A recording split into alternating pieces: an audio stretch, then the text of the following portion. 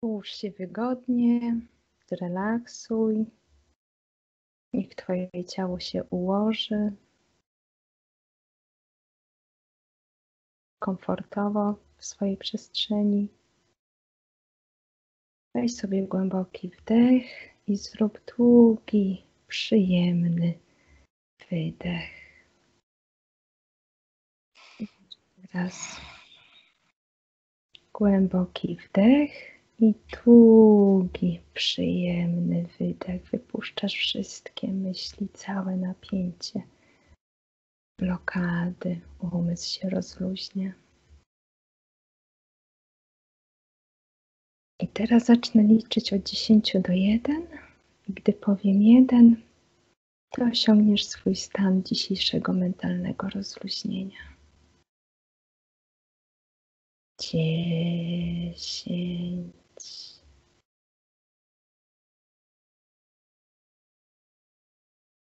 ち。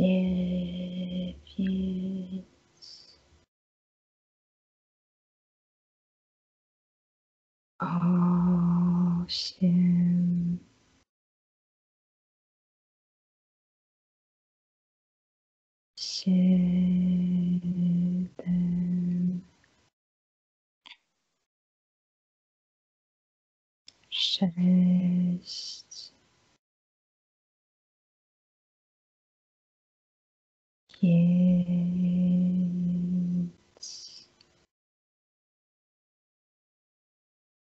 Zapadasz się w trans coraz głębiej, coraz głębiej. Cztery.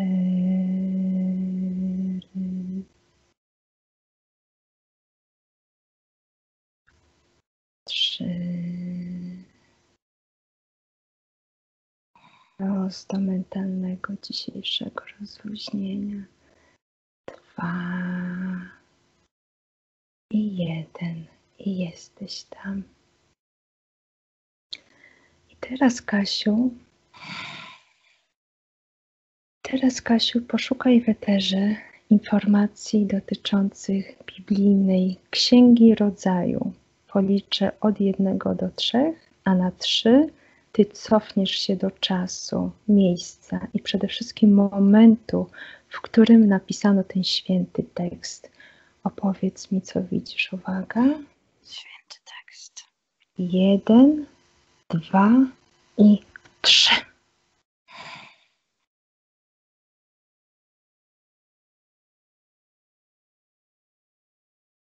Co widzisz, gdzie jesteś? Widzę mnichów, Mhm. którzy piszą. Przekładają to na różne języki. Możesz to rozwinąć, y, podać więcej szczegółów. Mają, mają oryginał i kopiują. Mhm. A czy możesz się cofnąć do momentu, gdy to zostało napisane, a nie tłumaczone? Idziesz tam i widzisz wszystko. Już. Pokazują mi się piramidy. Mhm. w tym czasie. Kiedy one już, kiedy cała ta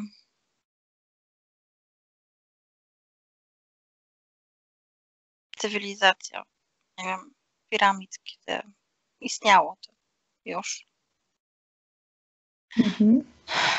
kiedy byli faraonowie. Czy możesz podać więcej szczegółów? Który jest rok? Nie wiem, to wszystko jest takie zamazane. To jest chronione. Mhm.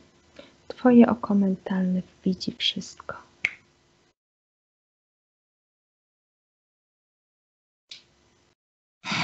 Dwa i pół, dwa tysiące lat przed naszą erą. Trzy, nie wiem. Mhm. Co widzisz lub odczuwasz? Kuje mi w sercu. W przestrzeni serca. Centralnie, w środku, w, most, mostku, wyżej. Między piersiami. Co widzisz? W sensie, dlaczego to kuje?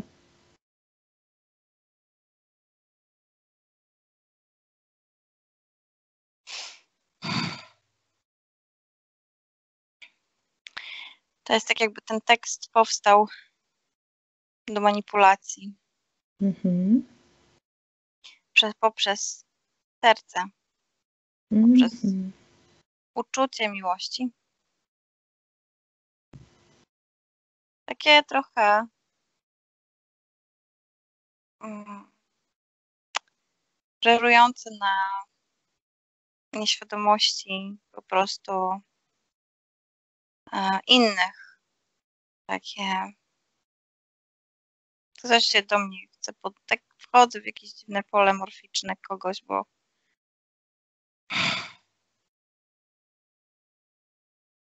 dostaję jakieś takie cwaniackie informacje. No, po coś tu przyszło, jakieś takie w ogóle.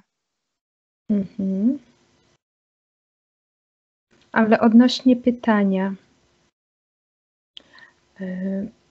czyli miejsce i moment, w którym napisano ten święty tekst. aż mnie zgryza, jak jest święty. Nie Mhm. jest święty. To jest to- oszustwo. Czy to wszystko? Co możesz na te, na te pytania odpowiedzieć? Czy widzisz coś jeszcze? Czy to już wszystko? To było w momencie, kiedy piramidy już powstały i cywilizacje inne z tymi wyskami, i tam zaczęło być jakby początek tego całego tekstu tam zaczął Mhm. mieć istnienie. Dobrze, przejdźmy do kolejnego pytania. Czy informacje przedstawione w Księdze Rodzaju, rodzaju przedstawiają rzeczywistość, alegorię, czy, jest, czy jeszcze coś innego?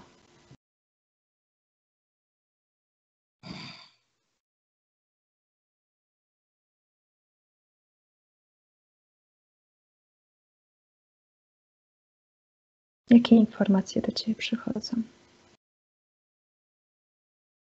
Trochę tak. To jest takie bardzo dziwne, bo cały czas mam wrażenie, że to w ogóle jest jakaś wyssana z palca albo z jakiejś innej rzeczywistości, nie naszej tutaj opowieść. No ktoś, no tak jak Szekspir pisał swoje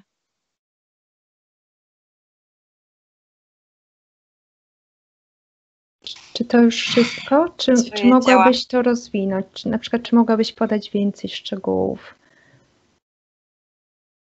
Ja po prostu nic tam pod spodem nie widzę, tylko suchy tekst. Mhm. Jakby po prostu tekst. Nic więcej. Bez Mhm. żadnej konkretnej. Nie, nic nie, nic nie widzę tam. Jest tylko Dobrze. tekst. Kolejne pytanie. Kto napisał Księgę Rodzaju? Co widzisz? Kapłani. Możesz rozwinąć, podać więcej szczegółów? Gdzie? Mhm. Ilość, w sensie ilu ich było? Oni tak jakby tak, mieli taką technologię, jak słuchawki w ucho, wprost jakby im to było dyktowane każdemu, każdemu inny kawałek tej, tego Mm. tekstu. Jakby oni no tak jakby było dyktando po prostu, no. Zostało to podyktowane po to, żeby Czy widzisz, e, przez kogo to było dyktowane?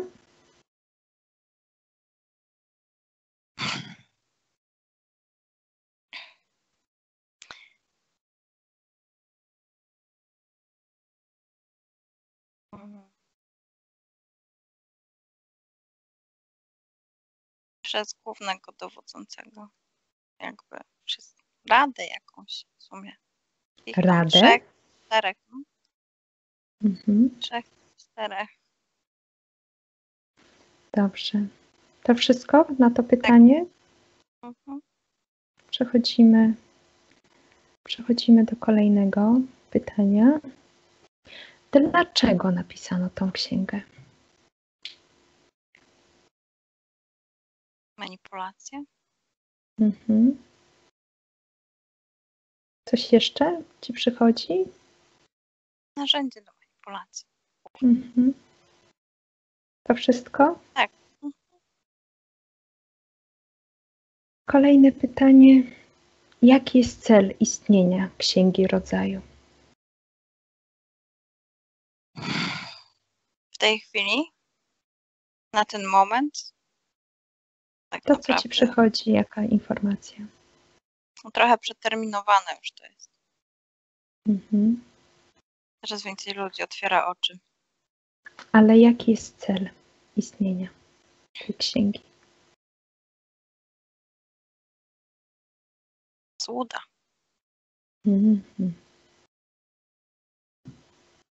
To wszystko? Czy coś jeszcze? Na, ten, w tym, tem, na to pytanie? Czy to wszystko, co przyszło? Złuda. Dobrze. Złuda. Mhm. Kolejne pytanie. W pierwszym rozdziale Księgi Rodzaju można przeczytać: Na początku Bóg stworzył niebo i ziemię. Kto lub co jest twórcą nieba i ziemi?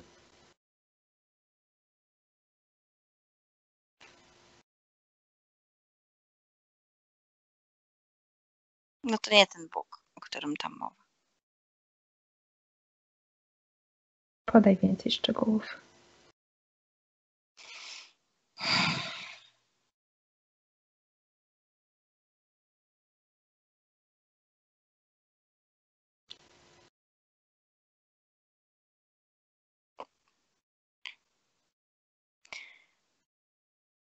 To jest tak, jakby oni sobie na potrzeby tutaj dla ludzi uzurpują sobie prawo do tego, że to Bóg stworzył. Tak? Czyli ten szef szefów, ten, który zarządza tutaj wszystkim. Mhm. Ale to nie jest prawdą, bo to nie on stworzył. Czyli to nie on jest twórcą nieba i ziemi. Mhm. Kolejne pytanie. Jak widzisz lub postrzegasz Boga, stwórcę nieba i ziemi?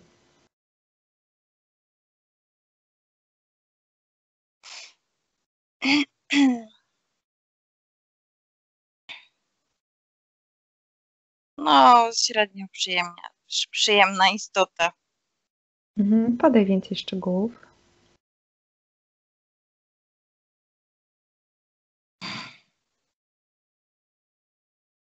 Szef wszystkich szefów. Mhm.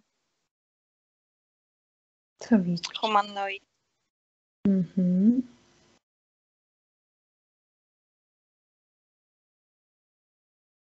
I to wszystko? I wszechmocny, w sensie ma bardzo dużo umiejętności. Jest kreatorem tej rzeczywistości, więc w sumie Mhm.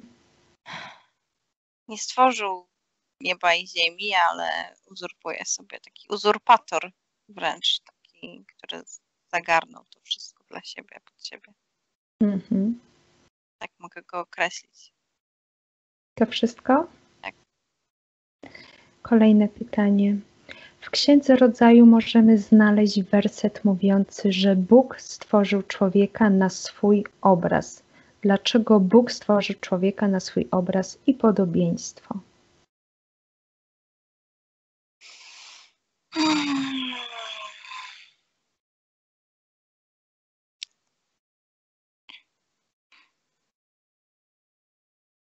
Kolejna manipulacja.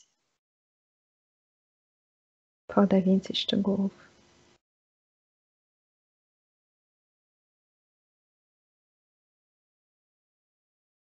Hmm, Przychodzi mi po prostu dużo na raz aspektów, na raz dużo obrazów i dużo. To nie jest tylko. Mm, mm. To jest dziwne, bo.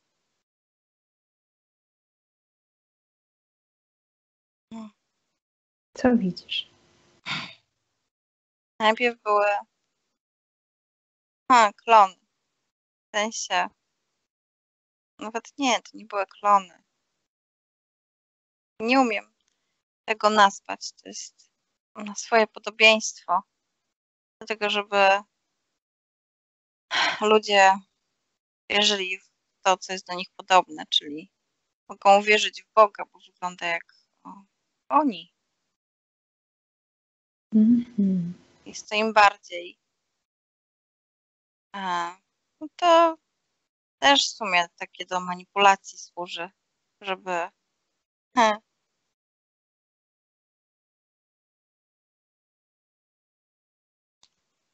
ludzie mogą uwierzyć po prostu w coś, co jest im e, bliskie, co znają. Mhm. Mhm. Czy to już wszystko na to pytanie? Tak. Dobrze, przechodzimy do kolejnego. W odniesieniu do stworzenia człowieka można przeczytać, że człowiek został ulepiony z prochu ziemi i stał się istotą żywą po tym, jak Bóg tchnął w jego nozdrza tchnienie życia. Co widzisz lub postrzegasz w odniesieniu do tego wersetu?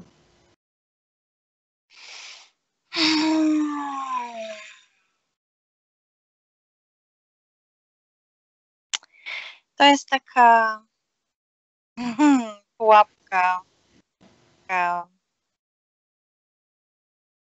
na użycie, tak? Czyli tak jak o, nasze dzieci w pewnym momencie, dopóki nie osiągną jakiegoś tam poziomu, etapu swojego rozwoju, są całkowicie zależne od nas Mhm. fizycznie i psychicznie, mentalnie. No, opiekujemy się dziećmi, tak? No i on jako stwórca, jako zapisany w tej księdze, że on to stworzył, więc jakby genetycznie my jesteśmy uwarunkowani na to, żeby tych naszych rodziców e, no w jakiś sposób, czy nie umiem tego wytłumaczyć. Mm. Daj mi chwilkę. Mhm. Spokojnie. Muszę to zebrać i ubrać w słowa. Tutaj nam chodzi o to tchnienie, tchnienie życia. Tak, bo w momencie, kiedy ty tchniesz życie w swoje dziecko, w cudzysłowie oczywiście, to wtedy dziecko jest takie, no tobie posłuszne, oddane do pewnego Mm. momentu. I tak to ma działać tutaj Mm. z tym. To jest taki, takie słowo klucz. Dałem ci życie, to ja jestem twoim panem. Mhm. Masz mnie Mhm. słuchać, czcić i tak, i nie I mieć czuć. tak, Tak, innych być wdzięcznym. tak, być wdzięcznym za to, że cię stworzyłem. To jest takie. Mhm. I zobacz, że w większości, znaczy są rodziny, w których tak mniej więcej to podobnie funkcjonuje, Mhm. a szczególnie w tych, które, które chodzą do kościoła, Mhm. takie są mocno religijne, to właśnie to ja dałem ci życie. No dosłownie, tak w przełożeniu. Mhm. Taki podobny, No Schemat. taki podobny schemat, tak. Mhm. Mhm, To wszystko? Przechodzimy Tak. do kolejnego pytania. mhm. Jeden z wersetów mówi, że człowiek ma uczynić ziemię sobą poddaną, ma panować nad rybami morskimi, nad ptactwem powietrznym i nad wszystkimi zwierzętami pełzającymi po ziemi. Co postrzegasz w odniesieniu do tego wersetu?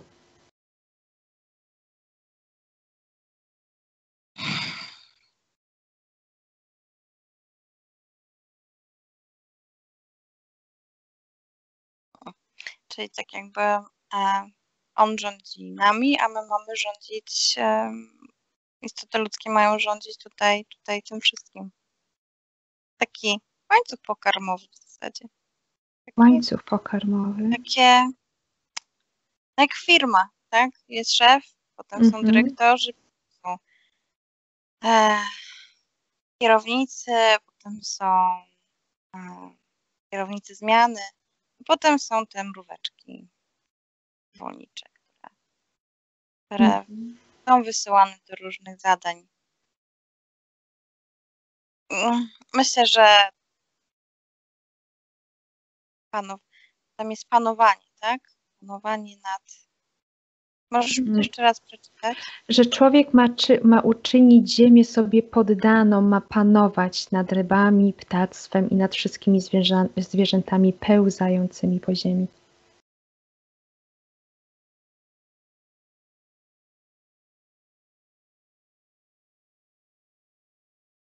Nie wiem, to jakaś bzdura w ogóle. Podaj jeszcze więcej szczegółów, rozwiń tę myśl. No, bzdura po prostu. Mhm.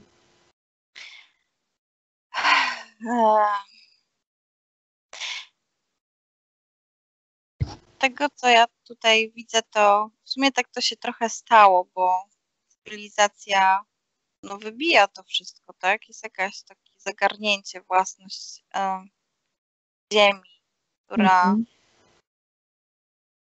która tak naprawdę będąc z nami w harmonii, może nam dać mnóstwo owoców. Nie, nie musi być ogóle kontrola, taka, taki program wrzucenia ludzkości, takiej kontroli.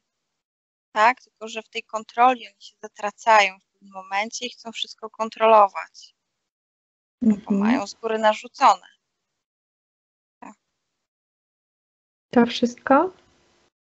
Mhm. Kolejne pytanie. Stworzenie świata odbyło się w ciągu siedmiu dni. Dlaczego? Co postrzegasz na ten temat?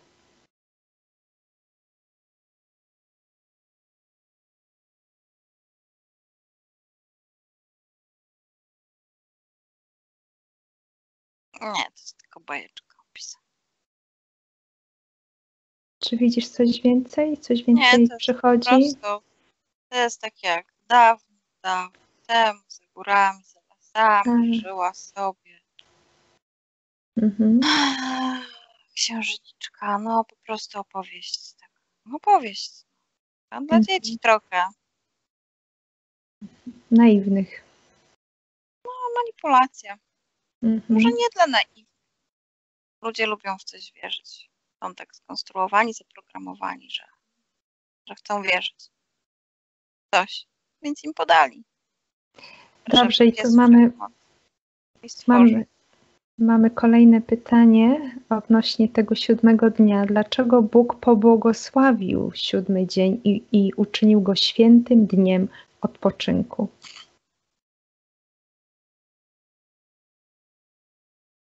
Miał takie życzenie.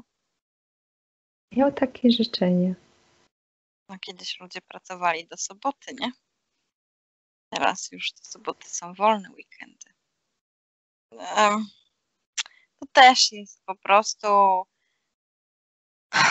grubsza manipulacja, bo tak naprawdę to jest takie, nawet bez tej, bez tej księgi, bez tego zapisku, ludzie mają 7 dni tygodnia. Czego nie 9? Mhm. Jest jakiś cykl, ale to jest po prostu, ten zapis jest przekłamany, bo przecież kalendarz istnieje od wielu tysięcy lat. Jest to po prostu informacja, którą sobie no, ktoś wziął i sobie znowu pod siebie um, no zapisał sobie no, pod siebie po prostu. Mhm. To wszystko? Co widzisz tutaj na temat tego pytania? Kalendarz istnieje od zawsze, a po prostu Mhm. siódmego dnia będą odpoczywać. Dobrze. Taki łaskawy. Tak to Czyli, dobrze, czyli przechodzimy do kolejnego pytania. Ósmy werset drugiego rozdziału Księgi Rodzaju mówi, że Bóg zasadził ogród w Eden na wschodzie i umieścił tam człowieka, który, którego ulepił. Co postrzegasz na ten temat? Ja myślę, że to była manipulacja genetyczna. Znaczy, postrzegam, widzę manipulację genetyczną i tam nie tylko jednego człowieka, ale tam jest cała hodowla. Mhm. Możesz podać więcej szczegółów?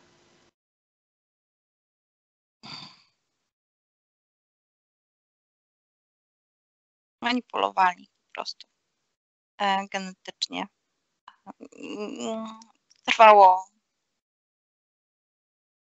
kilkasetek tysięcy lat, zanim takiego humanoida człowieka tak wyprodukowano po prostu, który by im odpowiadał. Mhm. To kolejne pytanie, czym jest Eden?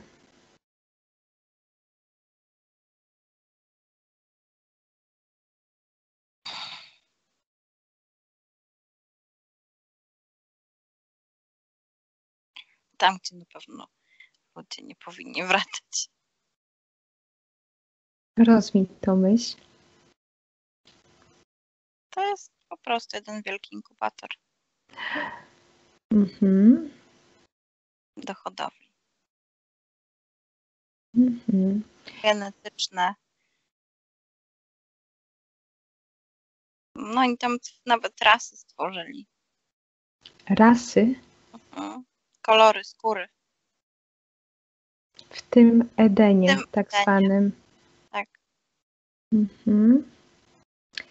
To ostatnie pytanie, gdzie to się znajduje, ten Eden?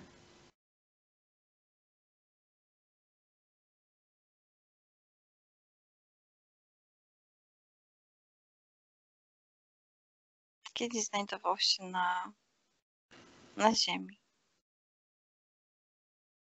Czy możesz podać więcej szczegółów?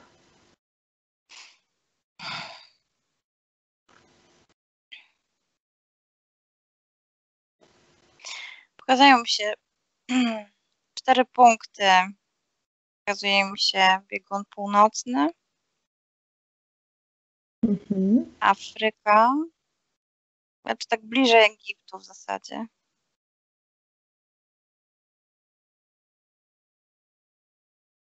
Gdzie jeszcze? Jakby to było połączone ze sobą. Nepal. Nepal. Nepal. Nepal. Mhm. A czwarty punkt?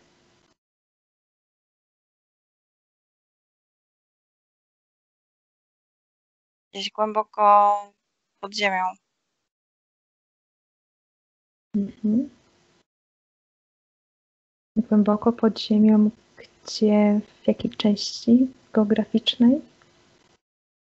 Tam jest ocean teraz. Mhm. Gdzieś pod, gdzieś, Mhm. gdzieś pod Australią, tak. Mhm. Ale to jest wody tam. Teraz jest dużo wody tam, Mhm. głęboko w, tam w ziemi. Albo Czy coś jeszcze, czy coś jeszcze widzisz lub odczuwasz? Czy to wszystko na to pytanie? Teraz to jest gdzie, znaczy teraz już tego nie ma w Mhm. ogóle. To oni już wyprodukowali, puścili i jakby te wszystkie to po, ha, no to co jest w wodzie w tym oceanie, to jakby no, jest tam faktycznie głęboko pod tą wodą zalane i te laboratoria tam są. Tam już nikogo nie ma, ale tam są ruiny, pozostałości po tym, a te wszystkie inne jakby zostały Aha, mnie znowu uśpić. Mhm. Zostały no zlikwidowane, przeniesione. Zlikwidowane. Mhm. Mhm. To wszystko, tak? Tak. Dobrze, czyli mamy koniec części oficjalnej. I teraz ja mam pytanie odnośnie tych ras i koloru skóry. Czy mogłabyś wrócić do tego momentu, e, w którym właśnie powstają te rasy ludzkie i jak to się stało, że mamy te rasy i te kolory skóry? To wynikło z eksperymentów po prostu. Oni też tam mniej więcej to e, takie bazy m, można przyrównać do filmu Avatar, gdy Mhm. oni produkowali te, te ciała, klonowali jakby, a potem jakby świadomością e, mieli taką technologię, że świadomość, e, dusza, tak, czy ciało subtelne zostawało przekierowane do tej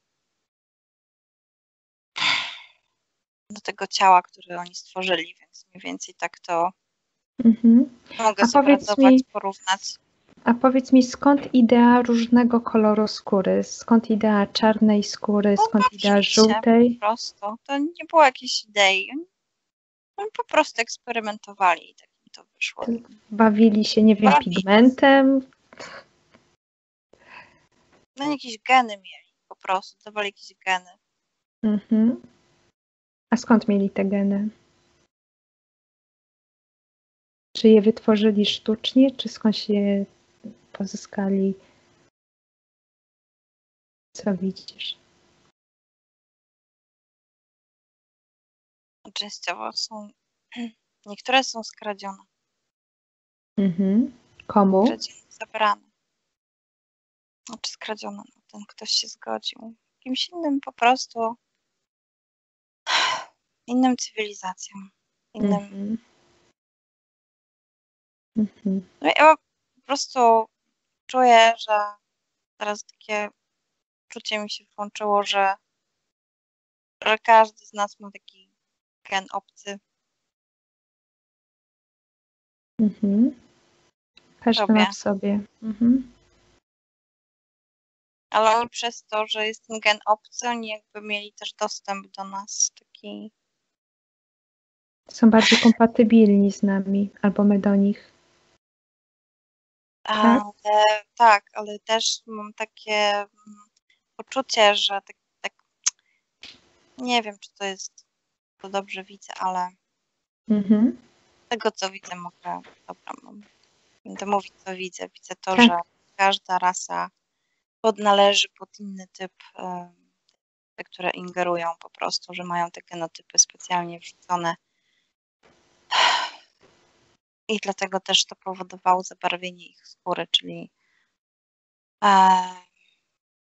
no, przykładowo tak modliszki Mhm. mają dostęp więcej do osób białych, tak, a na przykład em, nie wiem, jakieś inne ptasie jakieś czy szaraki mają dostęp na przykład większy do, do osób o czarnym kolorze skóry, bo tam jest inny genotyp po prostu jakby Mhm. nekompatybilność. A do, a do żółtego koloru skóry? Co widzisz?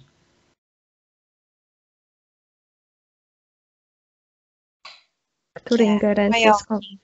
Pająki. Mhm. Dobrze. mrówki, Mrówki, czyli insekty. insekty. Oni, Mhm. no, oni są tacy, taki, nie? Szybcy, Mhm. jak mróweczki. Choć tak, nie. Dobrze, to, w tym to już wszystko? Co widzisz? Po prostu em, w zależności od tego, jaki mamy kolor skóry, ingerencja obcych, w zależności od ich rasy jest po prostu większa. Mhm. Oczywiście osoby, które są miksem, to no to wtedy jak się miksują dwie rasy i Powstaje hybryda. powstaje hybryda ludzka dosłownie i wtedy mają Mhm. dostęp oba, oba te. Mhm. A powiedz mi jeszcze, jak widzisz e, dragon, e, z, z którą rasą on jest najbardziej kompatybilny? Dragon, Mhm. O? Mhm.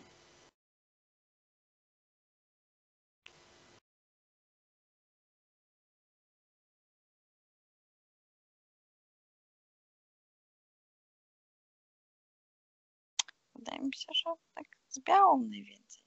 Z białą najwięcej. Ale Mhm. on też ma kontrolę nad innymi. Tak Mhm. może, ale, ale Preferuje tak. białą rasę. Mhm. Coś jeszcze? Czy to wszystko, co widzisz?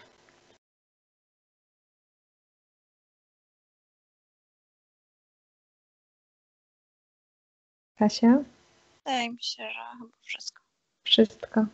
Dobrze, to w tej chwili kończymy nasz projekt badawczy na temat Księgi Rodzaju. Wyłączam nagrywanie. Buenos días.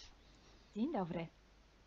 Bienvenidos a este primer vídeo de Disclosure en español y polaco. Bardzo Was serdecznie witamy na tym nowym wideo, które będzie w języku hiszpańskim i polskim na kanale Disclosures. Vamos a producir mucho más vídeos en futuro como estos vídeos informativos. W przyszłości stworzymy dużo więcej takich wideo, które będą Was informowa informowały o różnych rzeczach. Porque estamos notando que cuanto más se va divulgando este trabajo, estas hipnosis por Internet, también cuanto más mala información se está difundiendo. A to dlatego, że zauważyliśmy, że im więcej e, wstawiamy sesji z naszymi hipnozami, tym więcej jakby informacji sprzecznych e, zaczyna się e, rozprzestrzeniać. Y entonces hoy vamos a hablar de las sesiones investigativas. Więc dzisiaj będziemy mówić o sesjach badawczych. Porque estoy viendo que hay personas que a lo mejor se dedican a una sesión con una persona, se van a algún lugar, preguntan algo y lo poco de información que pueden extraer de una sesión se lo, se lo creen como si fuera oro, completamente puro oro. Bo zauważyłem, że są takie sesje i takie osoby, które robią jedną sesję z jedną osobą na dany temat i kiedy wychodzi tam jakaś informacja, to jest ona odbierana jakby to była rzeczywiście, jakby to było rzeczywiście e, coś niesamowicie wiarygodnego, jakby to było czyste złoto. Yo os digo que la sesión así dicha investigativa no existe. Ja chciałbym Wam powiedzieć, że e, sesja tak badawcza tak naprawdę nie istnieje. Entonces podríais como preguntar, entonces cuando haces una sesión a un cliente y preguntas cosas, ¿por qué preguntas? Więc mógłbyś sobie, mógłbyś mi zadać pytanie, więc skoro robisz jakąś sesję z jakąś osobą i zadajesz jej pytania, to właściwie po co je w ogóle zadajesz? Sí, sabemos que la información en hipnosis está muy, pero de verdad muy contaminada. My bardzo dobrze wiemy, że informacja, która wychodzi podczas hipnozy jest niezwykle, ale to niezwykle zanieczyszczona. Y esa información, así como sale de la hipnosis, no podemos tomarla como conocimiento, como investigación. Więc taka, taka, takiej informacji, która wychodzi podczas sesji hipnozy, nie bierzemy nigdy jako takiej informacji, która jest rzeczywiście zgodna, z, bardzo prawdziwa, zgodna z prawdą i oczywista. En el caso de sesiones a clientes, la información que sacamos nos sirve por otro objetivo. El objetivo es llegar a la causa de su problema y trabajar. Te informacje, które uzyskujemy podczas sesji dla klientów, służą nam zupełnie do czegoś innego. Celem jest to, żeby znaleźć przyczynę i pracować nad nią. Pero ¿qué significa que la información está contaminada? ¿Cuánto está contaminada y por qué? Ale co to właściwie oznacza e, informacja zanieczyszczona? Kiedy jest zanieczyszczona i dlaczego jest zanieczyszczona? Hay que saber que cuando nosotros eh, pedimos una información y nos llega, nos llega a través de una persona en hipnosis, esta información sale de una fuente, para así decirlo, y atraviesa muchas dimensiones, muchas densidades. Kiedy prosimy o jakąś informację podczas sesji, to ta informacja, powiedzmy to w ten sposób, pochodzi z jakiegoś źródła, ale w międzyczasie przechodzi przez wiele gęstości i wiele wymiarów.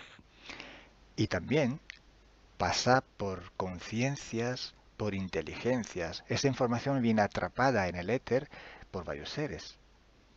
Ale ta informacja przechodzi przez, prze, też przez wiele umysłów, wiele świadomości, jest, istnieje w eterze i może być prze, przechwycona również przez wiele bytów. Estos seres, estas inteligencias, pueden voluntariamente o involuntariamente distorsionarla. I te byty, te istoty lub e, świadomości mogą ją zniekształcić świadomie lub nieświadomie. Y además, la persona que está en hipnosis tiene sus creencias, su mentalidad, sus perspectivas, su- sus opiniones. Mm, Esta estructura mental contamina también esta información. A co więcej, osoba, która jest w stanie hipnozy, ma swoje własne przekonania, swoje własne wartości wierzenia, swoją własną mentalność i przez tą właśnie strukturę całą mentalną również może dojść do jeszcze kolejnego zanieczyszczenia. Y además, si nosotros queremos investigar por ejemplo, una persona o un ser que no tiene ninguna conexión con eh, el ambiente hipnótico donde estamos trabajando, esta persona puede no autorizar la salida de informaciones de, de sí mismo. A co więcej, jeśli połączymy się z jakąś istotą, która absolutnie nie należy do tego środowiska hipnotycznego, w którym pracujemy, taka istota może nie zgodzić się na przekazanie informacji. Si hay interacción, si hay interferencias entre un ser y otro, eh, es posible que circule información por las conexiones, por los pactos. Jeśli jest jakaś e, inter, e, interferencja e, między dwoma istotami, to wtedy dzięki tym paktom, albo przez te pakty, przez to połączenie, które istnieje, rzeczywiście wychodzą informacje. Pero si en, en aquella sesión en concreto ese ser o esa persona se va a cuestionar y no hay ninguna conexión, es muy improbable que llegue una información autorizada. Ale jeśli zdarzy się tak, że łączymy się z istotą, która nie ma z tym nic wspólnego, to jest bardzo mało prawdopodobne, że dostaniemy jakąś informację. Eh, entonces, mm, imaginemos que queremos investigar sobre un personaje famoso de la historia. No, na przykład wyobraźmy sobie, że chcielibyśmy otrzymać informację o jakiejś osobie niezwykle znanej, historycznej. Si no tenemos de alguna manera alguna conexión con los elementos del ambiente hipnótico y esta persona, aunque no esté conectada, no autoriza esta, esta información, pues no llega. Więc jeśli wyobrazimy sobie, że ta e, osoba nie jest w żaden sposób połączona z tym środowiskiem hipnotycznym, w którym pracujemy, może się tak zdarzyć, że absolutnie nie zezwoli na żadne przekazywanie e, informacji na swój temat. Y cuando pasa esto, hay siempre o casi siempre alguna entidad que se aprovecha de la situación. I kiedy to się dzieje, zazwyczaj pojawia się jakiś byt, e, który wykorzystuje tę sytuację. Se puede presentar con la mm, supuesta identidad de la persona o del ser que estamos buscando o puede de todas formas modificar o inventar una información por su cuenta, por su personal ventaja. Może zrobić dwie rzeczy. Albo przyjąć, e, e, zidentyfikować się z osobą, o której chcemy zrobić tę sesję, e, przyjąć jej tożsamość, albo z, zmienić informacje, które powinny, które chcielibyśmy otrzymać, tak aby to działało na jej korzyść. Nosotros en sesión a clientes podemos trabajar porque el cliente nos autoriza a trabajar en él eh, en su sesión. Podczas sesji dla klientów możemy pracować e, nad, nad takimi informacjami, bo wtedy bo otrzymujemy zgodę na informacje właśnie dzięki temu klientowi. Y podemos trabajar con sus seres queridos, por ejemplo, o con los seres que interfieren con ella, propio porque hay estas conexiones. I możemy pracować na przykład z istotami, które kocha ta dana osoba lub z bytami, które w nią ingerują właśnie przez to, przez to połączenie, które tam istnieje. Entonces, hay una gran diferencia entre la sesión a un cliente para solucionar sus problemas y hacer sesiones para investigar. Dlatego istnieje tak, tak, taka duża różnica między sesjami, które robimy dla klientów, aby rozwiązać ich problemy, i między sesjami takimi poszukiwawczymi. Por eso, por eso digo que no existe una sesión investigativa. I dlatego właśnie Wam mówię, że nie istnieje coś takiego jak sesja badawcza. Lo que existe es un protocolo de sesiones de investigación. To, co istnieje, to pewien protokół sesji badawczych. Hay que seguir un protocolo y hay que seguir, ejecutar una serie de sesiones y con personas diferentes. Więc trzeba zawsze śledzić ten sam protokół, a jednocześnie wykonać wiele sesji z różnymi osobami.